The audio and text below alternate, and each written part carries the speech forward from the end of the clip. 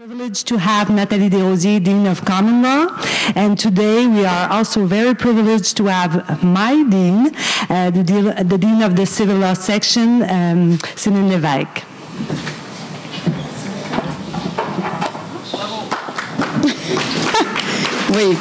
Alors, merci beaucoup, euh, Michel. Euh, D'abord, je dois dire que c'est un grand plaisir euh, d'être ici, d'avoir été invité à participer à cette conférence. Alors, je félicite euh, les organisateurs. Je pense que c'est déjà, euh, on peut constater là, que c'est déjà un grand succès. Uh, congrats also to all participants for tackling these uh, pressing issues of health law and policy. Uh, the focus of this panel is the future of global health, and we have two uh, great speakers to uh, address these uh, this topic. Uh, so I will introduce them briefly because I was told specifically not to read their bios, as you can all read and look in the program. but I will say a word about each of them. Steven Hoffman is associate professor at the University of Ottawa and director of the Global Strategy Lab at the university. I have to tell you a little story about that. Last month we were in uh, China, Colleen, Steven, and I, to build collaboration with Chinese universities, including in health law and policy. And at some point, Steven got introduced as the director of global strategy for the whole university. So he got quite a promotion. Hasn't been approved by Alan yet, but we're working on that. So it was great to uh, to spend time with uh, Steven and Colleen in China. Uh, so Steven has done a lot, as you'll uh, see in his bio. He has uh, relationships with uh, McMaster, with Harvard, and he specializes in global health law, global governance, and institutional design. Today, he'll address international law and superbugs. after hearing Ian Kerr, and now looking forward to Steven talk, I'm feeling really boring in my field of international investment law. Our presentations are not that uh, that exciting. Uh, so our second speaker is Professor Chidi Oguamanam. Uh, he's a full professor also in the Faculty of Law. I'll say he's a bit of a Renaissance man, uh, if he allows me. He uh, tries or succeeds in making links between law and policy around biodiversity conservation, uh, indigenous indigenous knowledge and uh, IP. Uh, so his interests span uh, public health law policy, biomedical ethics, complementary and alternative medicine. So this uh, approach allows them to be part of three of our uh, research center, law, technology and society, environmental law and global sustainability, and Center for Health, Law, Policy and Ethics, of course. So I'm very uh, pleased to be here uh, and to chair this panel. Both of them will speak about 15 minutes, uh, and then we'll have time for discussion and uh, questions. So, Steven?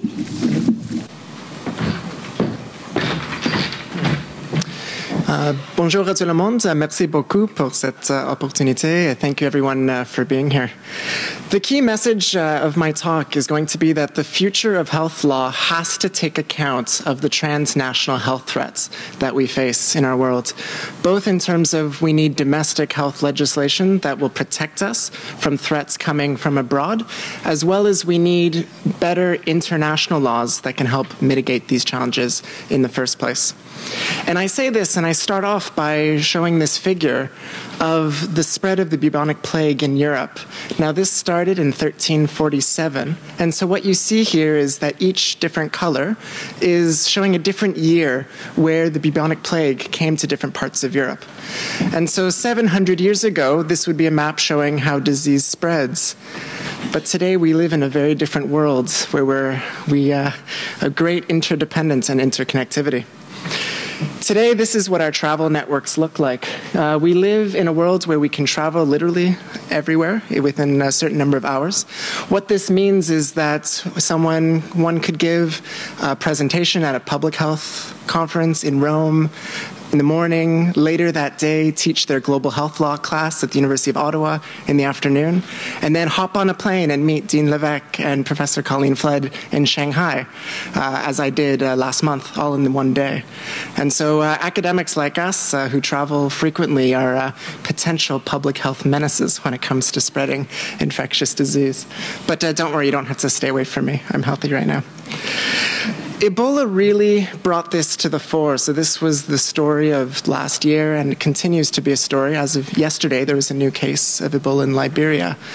Uh, Ebola brought this to fore, and it's because in it used to be 40 over the past 40 years, we've seen that outbreaks like Ebola are often localized. So, in this case, Ebola previously always happened in a particular area in sub-Saharan Africa, uh, each localized outbreak. But then this time around, the reason this was in the newspaper was because it went global. And so here's a map showing uh, different countries that were affected by it. So in Europe, the United States, uh, throughout West Africa. And people over here, well, the cartoon shows the United States, but people went crazy, uh, as we saw. And so today I'm not going to talk about pandemics. I'm going to the, the kind that we hear a lot about in the news. Instead, I'm going to talk about a silent pandemic that's happening within our midst. Superbugs, uh, as the title of my uh, presentation uh, refers to. But unfortunately, superbugs are not as cute as, uh, as the Bugs Bunny uh, here. Uh, they're actually quite terrifying. Uh, and they're terrifying because really what superbugs are, it's bacteria, it's viruses, it's fungus that are resistant to the drugs that we've developed that, that, that that protect us for when we get sick with different infectious diseases. So what it means is antimicrobial resistance and superbugs is, is sort of the cute way of talking about it. What that means is that existing bacteria and viruses for which we do have drugs that, that used to work are slowly no longer working. And so that's uh, that it's a potentially an enormous threat to all of our health and it conflicts with public expectations around what kind of medicines would work and what kind of diseases they don't necessarily have to worry about, and now will have to start worrying about. Just to show a brief uh, sort of science 101 about how antimicrobial resistance works, this, this phenomenon, it's a natural phenomenon in that it, when you have billions and billions of bacteria, for example, that are around the world, it just makes sense that by chance, by random chance, there's going to be some bacteria which are resistant to the drugs that we would want to use that would usually kill them. So, for example, by random chance, you could have a bacteria that has a defect whereby a protein channel doesn't let something go in doesn't let a drug go in. Now, usually, in most contexts, that's bad for the bacteria because it means that this protein channel, uh, it's, it's not working properly. But in the presence of antibiotics and antivirals, that defect is actually makes it a super bacteria because it means that when that bacteria is competing in a world of competition with other bacteria, it means they have they get to um, they get to proliferate and be prosperous. And so what you see here is a picture where in a world we have uh, one bacteria that's that's not resistant, which which we can we can kill with our bac- with our antibiotics. We have another bacteria that is resistant, and usually in the worlds, the ones that are not resistant do better because they're not they don't have, for example, a defective protein channel, and so they they spread quicker. But then in the third column, you see we then we use antibiotics uh, to protect ourselves, and that's a good thing. But the problem is when we use them too much or when we use them inappropriately, we kill all of the non-resistant bacteria and then allow for the resistant ones to proliferate. And then when someone gets sick with that new bacteria at the end in the fourth column, suddenly the drugs that previously worked, they no longer work. Now, this is a problem because we're not only using our antibiotics to promote human health, when, for example, when we get sick, we use them for various other purposes. So, in the United States, 80% of all antibiotics are actually are not used in humans. They're used on farms to promote growth of animals because one of the byproducts, one of the side effects of antimicrobials is that it promotes uh, growth in animals. Globally, the figure is 75%, so not much better.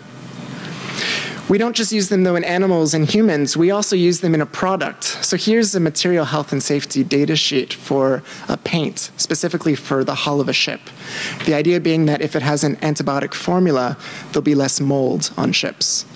Uh, now, that might be a very important use on ships, but uh, it means that we're using our limited effect. We're using our antibiotics, which are have a limited effectiveness. We're using them to ensure that mold doesn't grow on ships.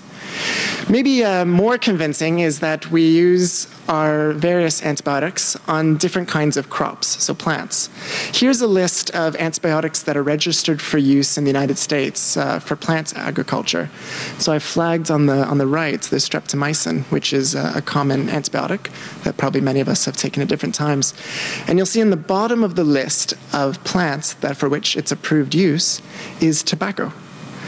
What this means is that in parts of the world, we are literally spraying our tobacco plants with streptomycin so that we can make sure our tobacco is sufficiently vibrant that it can then be used and put in cigarettes and then kill people.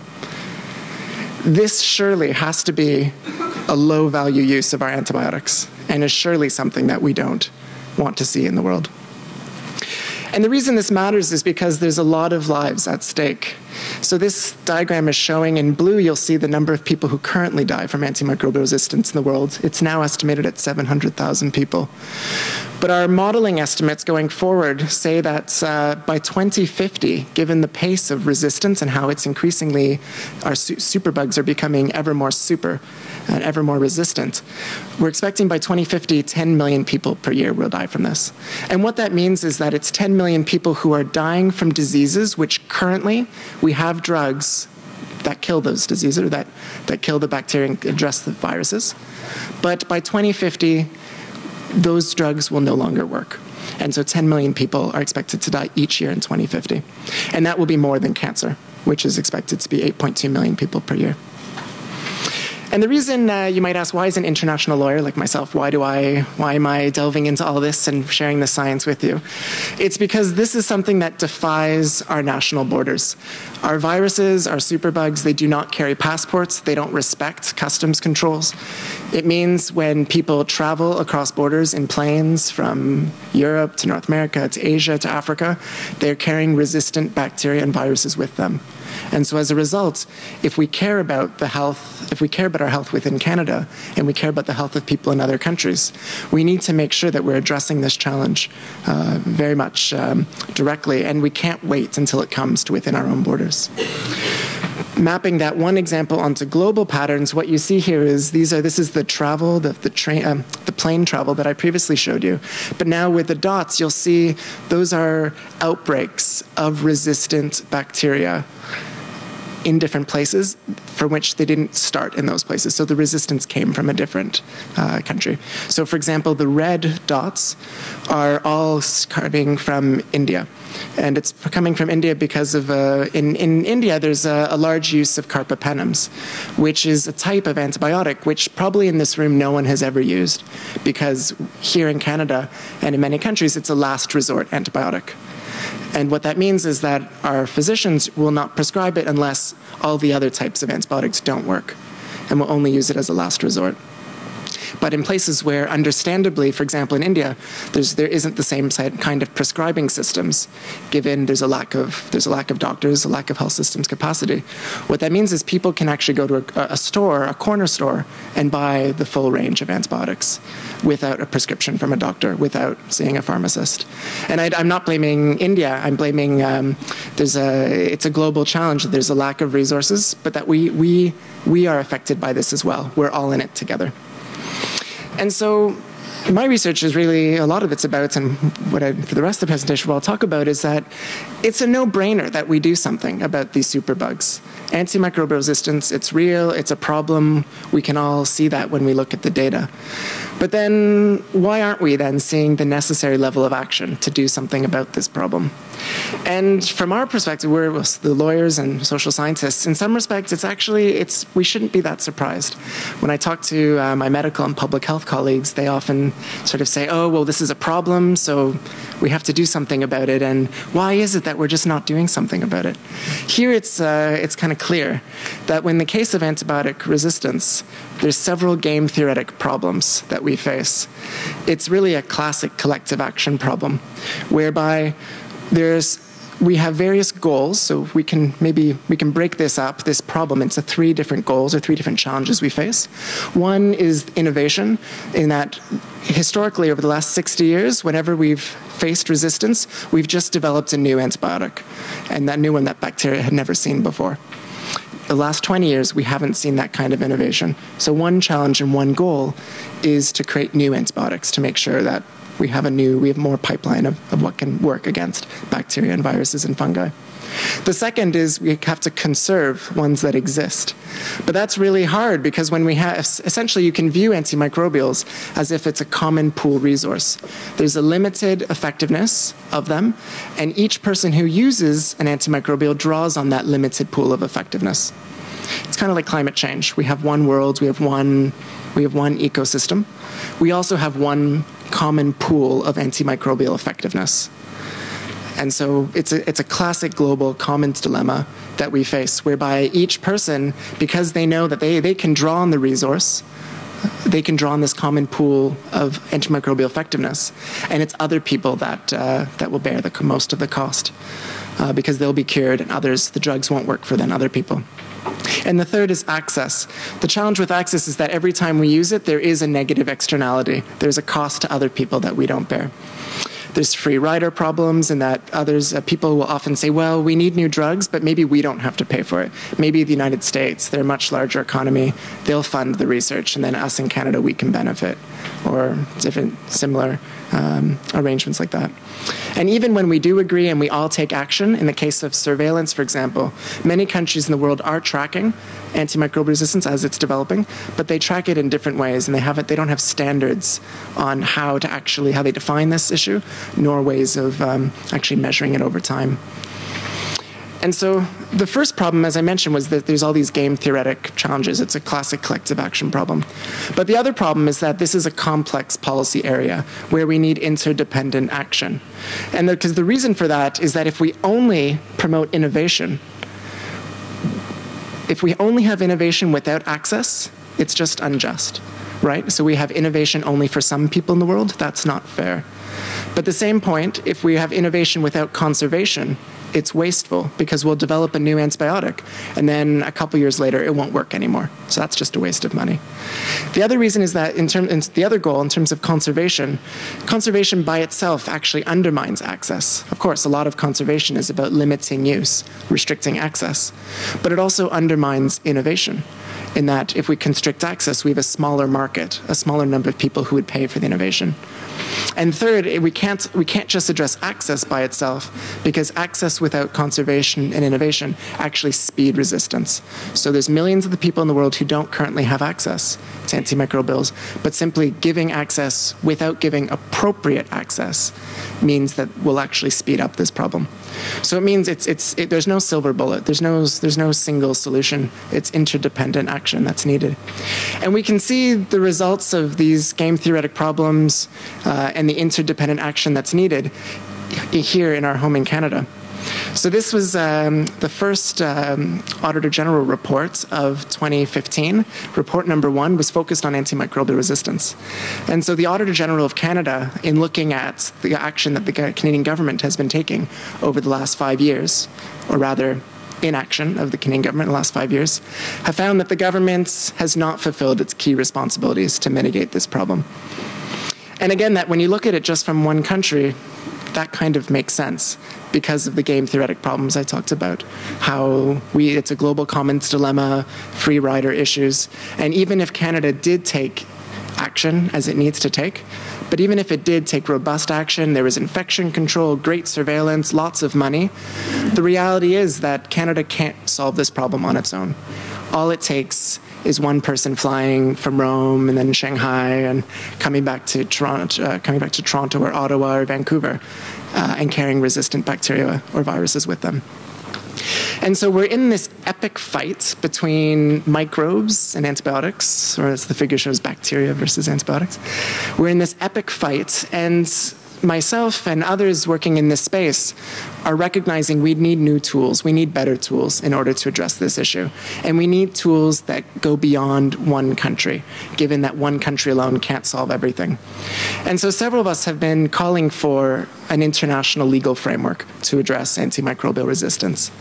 We're calling for essentially um, a global health law in order to address this issue, recognizing that we can't do it within individual countries alone. And so, why international law? So, I'm, I'm someone who's written actually quite, quite a bit about maybe we shouldn't use international law to address every challenge, thinking that we, in, in this room, we know that law is expensive, it creates all sort of processes, and it also doesn't always achieve the exact outcome that we want it to achieve. But in this case, I think there's some clear, compelling reasons why an international law would be quite helpful. The first is, as I said, the interdependence among countries, which means we need everybody to act. It's not just enough if we act ourselves. Second is the interlocking actions, meaning that we can't actually do this unless we do it as one larger, comprehensive package. Third is that actions are costly and they're needed now, whereas the benefits are long term and far off they're they're they're they're not directly um, linked to our action now. These are long-term things, and so yet we live in a political environments in democracies, especially, whereby when short term interests differ from long term interests, it's often difficult to get action completed. When politicians know that the benefits of their costly actions now won't be accrued until the next guy is in office. So that's a problem. And so when we look at this, though, what it means is that in order to solve this, it's clear that we need some sort of institutionalized grand bargain. And so, just to conclude, it's clear that when we're looking towards a grand bargain, we need to both figure out what do we want countries and all actors to do in terms of providing access, conservation, innovation, but we also have to think of the implementation mechanism. So, what would an international law look like? What would international institutions and interest mobilizers? How can we how can we really solve this problem? And so on the first, we have lots of lots of science that's coming out. Uh, yesterday, I was in London uh, for the launch of uh, the Lancet as a medical journal. They've launched a new series on antimicrobial resistance, which is really focused on providing a roadmap for the future. That follows work by the World Health Organization and other governments to really highlight what kind of national policies do we need. So the content, we have a lot happening. What we have less of is on the implementation mechanisms. So yesterday, coinciding with the release of the Lancet Lancet series. Um, a paper of mine was released in the Bulletin of the World Health Organization, which is really trying to map out what are these different strategies, these global strategies we can pursue to achieve collective action on an issue where there's a classic collective action problem. And there's additional work that many, that several people um, have been trying to do, thinking through. Okay, what would be the right forum? What would be the right kind of mechanisms? Are there should there be enforcement uh, protocols in place? And so, just to conclude, it's in my mind, we're talking about the future of health law here. It's clear then that the future of health law has to include legal protections against these transnational health threats uh, that rests that risk the well-being of all of us. Uh, because if not, I think we'll all end up being sorry. Yeah, thank you.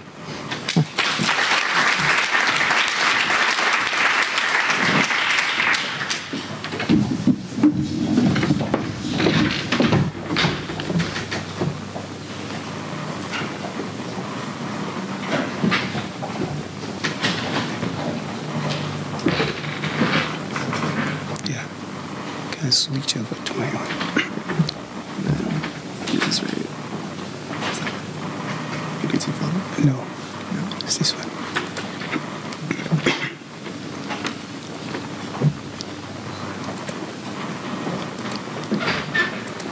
Yeah. So I wanted to join everybody to thank um, Colin and the team for inviting me.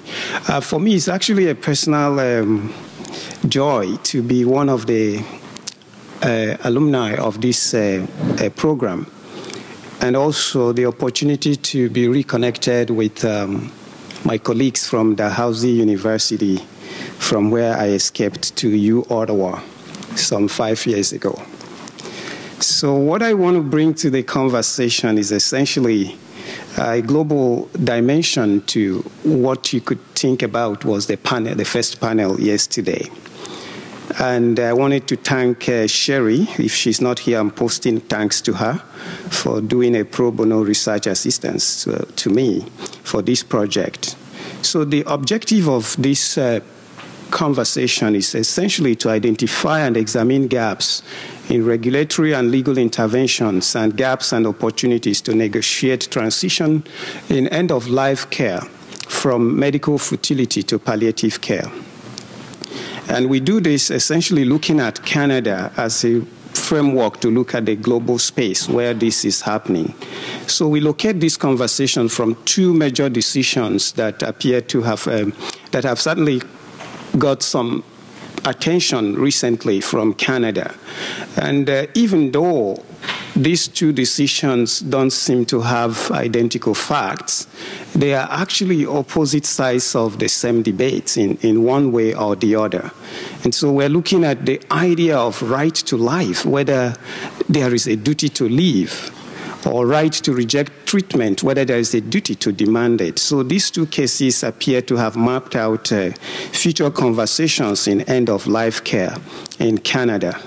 And what are the drivers? In addition to these two cases, a lot of uh, developments are happening in this country that will really continue to pour fuel um, onto the fire of the tensions around end of life care. Some of those we're so familiar with, but I would pay attention to the very last one. Um, the healthcare provider diversity in this country is no longer what it used to be several years ago because most medical practitioners and nurses are coming not from Ireland or England or elsewhere in Europe. They are coming essentially from Africa and Asia. And therefore, because ethics is also a matter of culture and personal experience, those are going to really constitute some degree of tension in emergency rooms as to how these decisions are being made. And so, end of life care as a concept, I, I would not bore this very influential audience on, on what end of life care, other than to really highlight the fact that it is not limited to the elderly. And this is a fact that one would have thought is so obvious. But when you look at the text of uh, the relevant legal instruments, particularly at a global level, that doesn't seem to be the case. And how about medical futility? Well, Uh, is a concept that is self evident in terms of the two worlds we have joined together. But what I have found is that where the naked reality of harm is the virtue result of continuing treatment, then we have a case of medical futility. And, and it's because of this situation that transition to palliative care becomes very compelling. But here in Canada, we have two different regimes as to how that is negotiated and how that transition is made. And we have a statute backed framework in Ontario and Yukon. And uh, elsewhere in Canada, we have resort to common law and, of course, uh, ethical regimes in, in cases of institutions. And this case, particularly the Rasouli case, appears to have actually brought a lot of attention, particularly in regard to Ontario. Um, the Supreme Court has said that um, the Health Care and Consent Act in Ontario applies to giving and, and, and refusing consent incidental to treatment. And of course, under that statute, treatment goes beyond clinical opinion of what constitutes patient's best interest. And, and the statute goes ahead and the court affirms that to, to, to, to, to declare that treatment includes legally rec- uh, actions legally recognized as having health related purpose. And the problem with this, and the, major- the minority in that case highlighted this, is that uh, for a care provider, an action may have health related purpose, but it's not in the best interest of the patient. And so we have a situation where there is almost like an inclination to really empower surrogate decision makers and probably create some degree of tension between them and the professional and ethical opinion of healthcare providers. And so we begin to see two regimes emerging, while the rest of the Canada will fall back to the common law and whereof we could see that there is a degree of weight and significant one given to the opinion of clinicians. Uh, and in the other one, not necessarily so, but yet you could see that that decision has created some degree of, uh, uh, of, of food for thought going forward.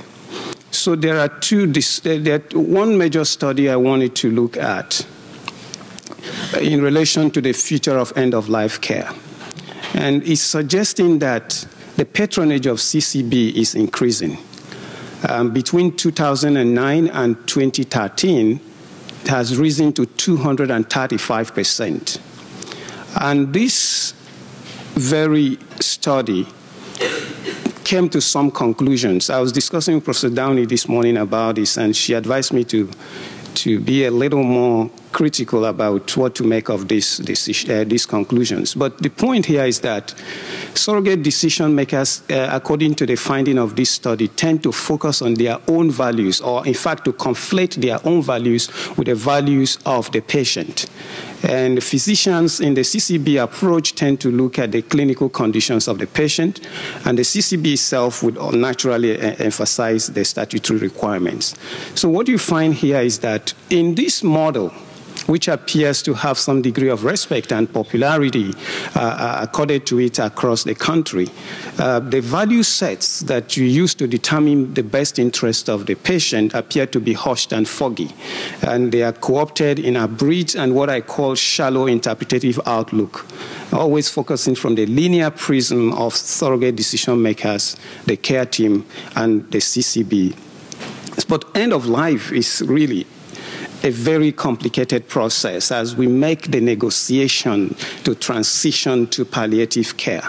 It goes beyond those entities I mentioned in the last uh, uh, uh, slide and, and involves the community of faith, the community of culture, the family, the care provider team, and the substitute decision maker in that case.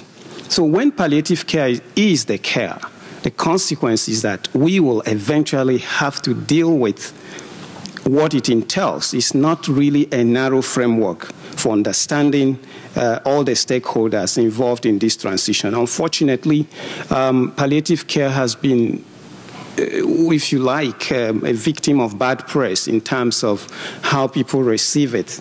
But it speaks about collectivity in the way we, we make the transition. But how about the global profile of palliative care? Um, Canada is uh, one of the countries out of 20 that are said to have integrated palliative care into our system. But the question we have not asked is how robust is that, given the tensions that we have in negotiating that transition? It's always really a big tension. And palliative care also is one of the major issues of global health inequity divide. And the World Palliative Care Alliance has released the first ever global atlas of palliative care looking at it from the point of view of access to pain uh, medications across the globe. And if you map out, as they have done, what happens, it is very, very challenging in terms of you to see there are parts of the world where people who are destined to die die in serious pain without access to any palliative care. Some other people that have studied this have described uh, the lack of palliative care globally as a matter of global health injustice, and one of them calls it the most insidious injustice. So you can see at that, look at that slide and see how much palliative care drugs are consumed between United States and Canada in relation to the rest of the world. That raises a major global health uh, inequity a case or crisis on its own. But how does the law support this? The law, in fact, if you look at the critical sections of the human rights law and even the WHO framework, palliative care is mentioned marginally. Um, if you look at uh, the first elaboration of um, of the right to health by the, uh, by, by, by, the general, under the general comment number 14, they took the concept of palliative care and filed it under care for the elderly. And within that document, there is only one mention of palliative care. All you need to do is to have a biased reading of it and begin to see places they mentioned vulnerable people, where they made references to discrimination, and then you begin to get the picture.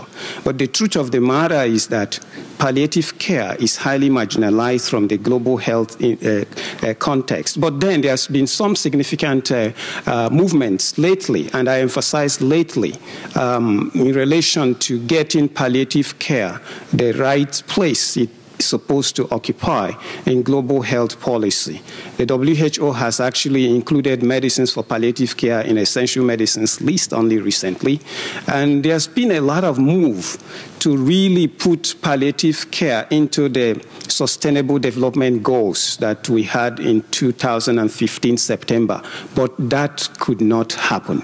If you look at the global sustainable development goals, I think health is uh, uh, number three, and you look at all the goals articulated, all the targets articulated under it, there was no mention of palliative care, despite what the Harvard Global Equity Initiative has done and all other initiatives, including those of the International Congress on Palliative Care, which in, last year had what they call the Montreal Declaration, designed to push palliative care into the Sustainable Development Goals. That did not work.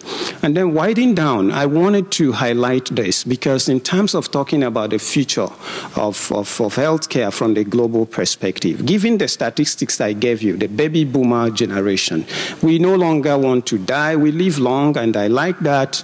No objections to that. But the truth of the matter is essentially to suggest to us that we have to really begin to engage the big elephant in the room. For as long as we're going to have people in their 80s, 90s, 100s as a significant percentage of our population, we have to begin to understand that negotiating medical futility and palliative care requires that we begin to really take significant steps to leverage upon the promises of palliative care.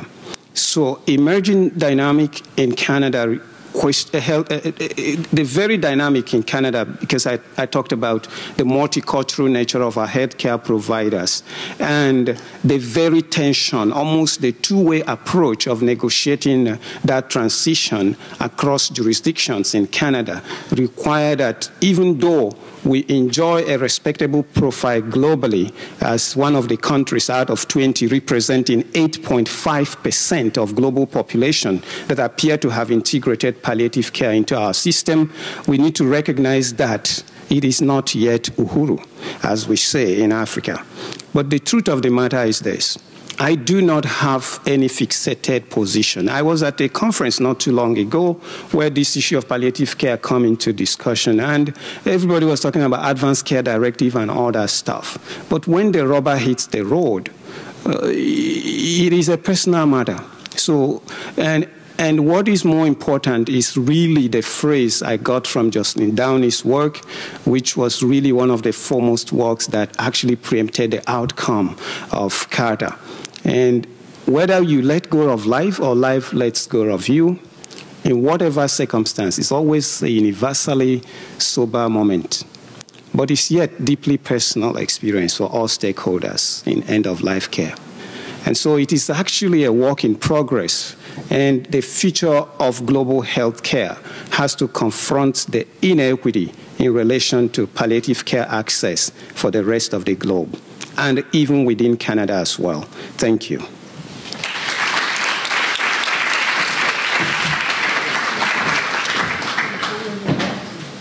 very much. So we have about 15 minutes for questions and discussion. So if I could ask you to introduce yourself and ask, if possible, brief questions.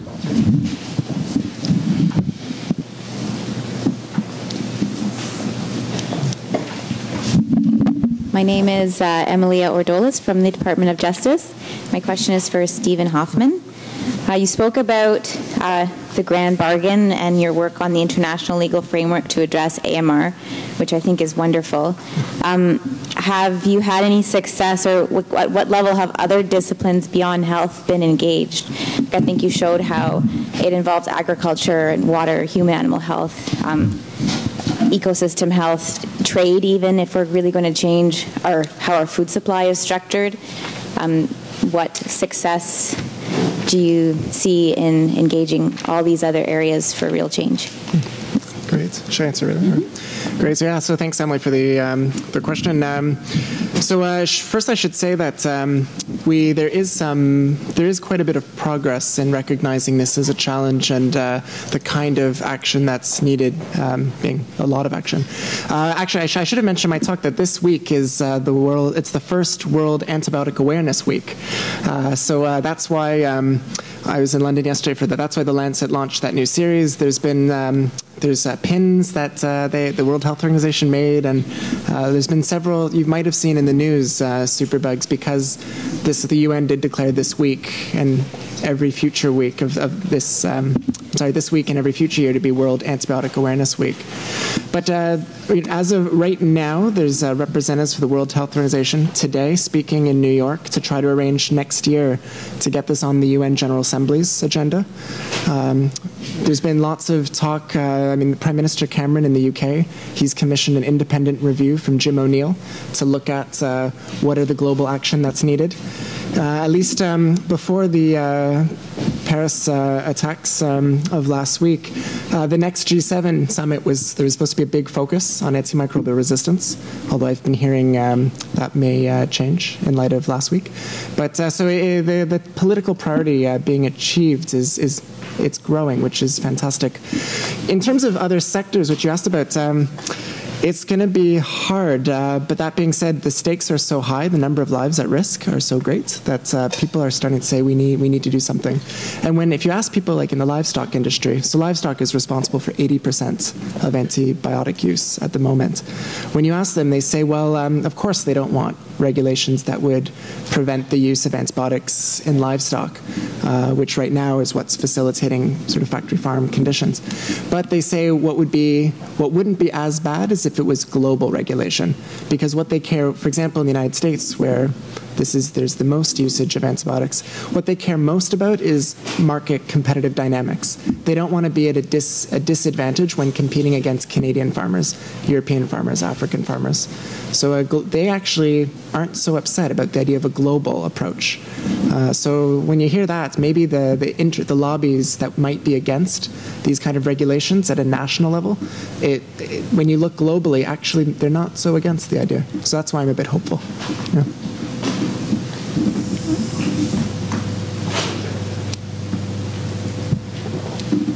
Other questions? I'm just going to yell from over here. Everyone can hear me.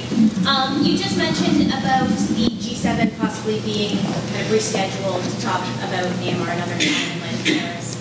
I think that's happened with AMR before, where mm. other pandemics and emergency sorts of situations have gotten in the way of that conversation. Are there mechanisms or ways forward to keep that kind of on the table in light of everything else that is also an emergency? Yeah, so uh, another good question. So, uh, but I so I think that the data is going to keep it high on the agenda. This problem is something we've been trying to address for 60 years. It's something we have not been able to address. Um, as a well, actually, I guess the last 60 years, our solution has always been just to invent a new antibiotic, which bacteria had never seen before, and therefore uh, it, it would work at least for a few years. Uh, but now, uh, 50% of, for example, gonorrhea cases are resistant, and there's all sorts of diseases where um, we uh, people used to assume that you could just take a shot of antibiotics or a few pop a few pills and it would be bye bye, and uh, but no longer that's the case. So uh, as this as the situation gets worse and worse, and we keep on getting new indicators uh, showing how bad the situation is, it'll um, hopefully it'll stay on the political agenda. Uh, but I am, I am, I'm, I am hopeful. We're starting to see, uh, we're starting to see some of the big actors decide that we need to finally do something about this. Yeah.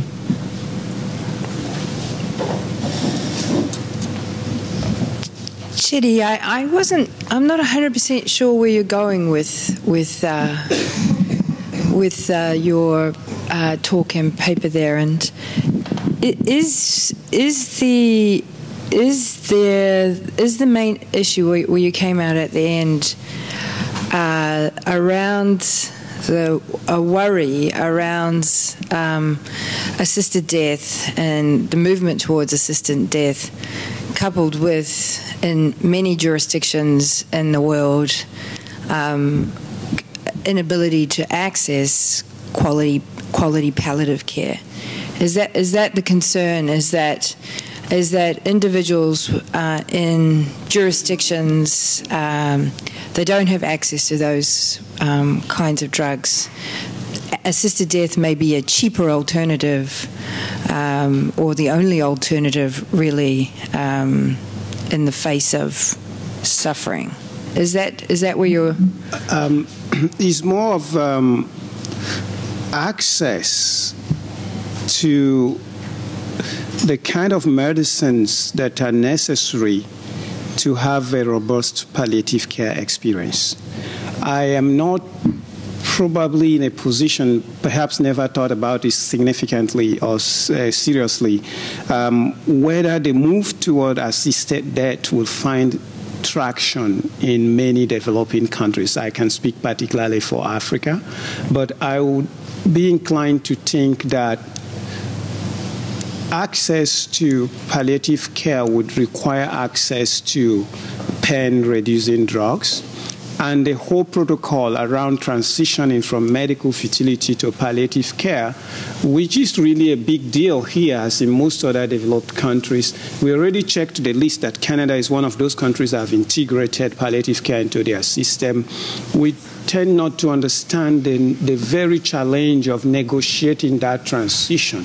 And that is really what is the major issue right now here. But to the rest of the world, particularly Africa, I think that the global health inequity, as evident from access to palliative care and pain relieving medicines towards the end of life, is one of the major issues. So, what I'm trying to say in one breath is to say, as much as we have it checked that Canada is one out of 20 countries that have integrated palliative care, it is still a work in progress.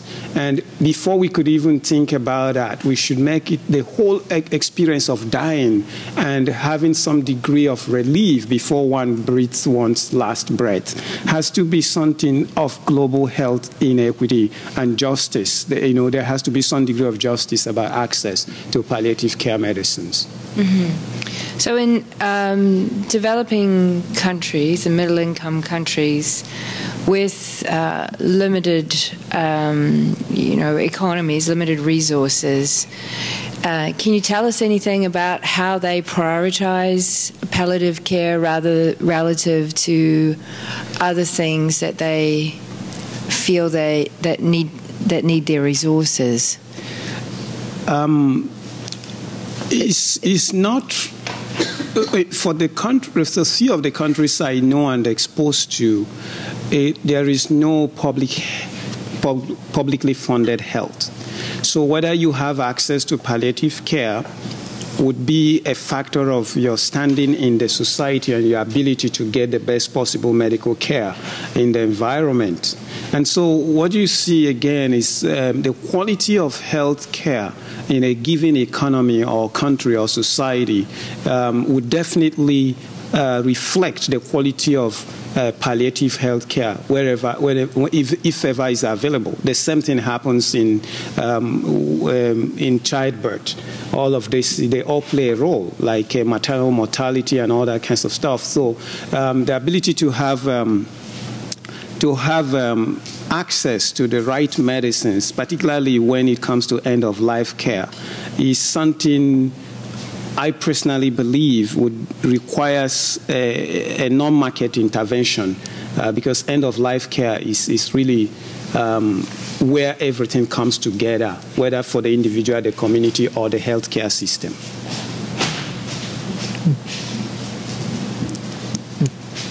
If we have time, maybe I can. Um, so, if we have, if we have time, um, should I ask you a question? What role do you think um, international law will play in addressing this challenge. I ask that because, um, of course, international law right now already put there's some international laws are facilitative in promoting access to medicines, but more so we talk about international law actually putting up barriers to access to medicines.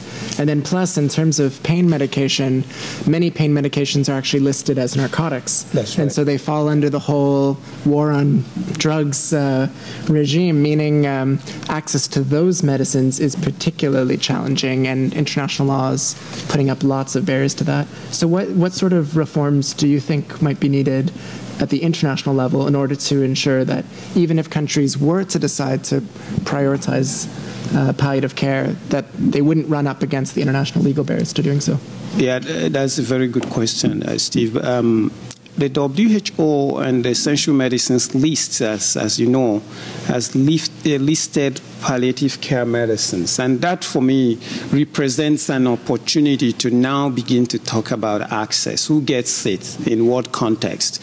And there's always this concern that, okay, if you made it available, it is going to be abused or go into wrong hands in, in all of these situations. And, and so fundamentally, the, the, the, the, the structure for healthcare governance in, in all of these countries is a major issue. Let me give you an example, because international law has not, in my view and from my research, paid attention to the idea of palliative care. If you look at those 20 countries I put out there uh, where we say they have integrated palliative care, only one African country is in that list, and it's not even South Africa, as some of you would suspect. It is Uganda. And it's because the, the Harvard Global uh, Health Equity Initiative has decided to go on ground and begin to build capacity and, and eventually was able to work hard enough whereby Uganda is able to make that list. So the position here is that uh, it goes back to the normal approach to handling inequity in global healthcare. Whether you call it um, a health governance by foundation or not, I'm only interested in the critical reality that how it translates into making changes on ground. We've reached our time. So thank you very much. Merci à tout le monde. Merci à nos conférenciers. All right, to keep this tradition going, um, um, my name is Catherine Marie Blais. I'm a CHR student. I'm currently doing my master thesis on orphan drug and normative framework in Canada. Euh, il me fait très grand plaisir de remercier et euh, féliciter les présentateurs pour votre très intéressante conférence. Alors, merci beaucoup.